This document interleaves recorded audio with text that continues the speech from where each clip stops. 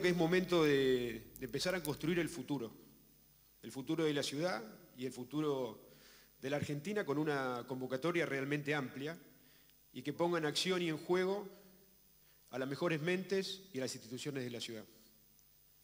No es casual, digamos, la, la ubicación que nosotros como equipo de gobierno elegimos tomar dentro del teatro. Nosotros creemos que durante mucho tiempo ha habido una mala evolución en general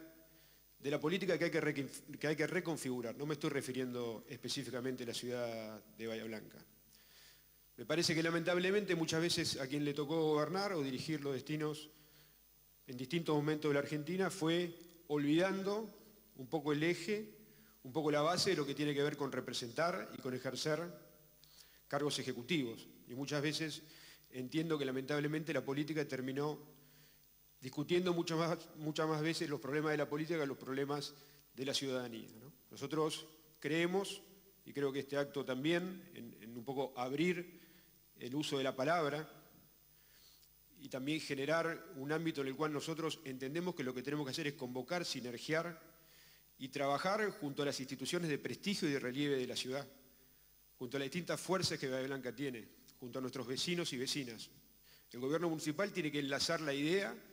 tiene que enlazar el modelo de gestión que los líderes, los liderazgos y las instituciones fuertes que tenemos en Bahía generan y piensan con las necesidades de la comunidad y viceversa, recoger las necesidades de nuestra comunidad en todos los ámbitos y en todas las materias que la ciudad tiene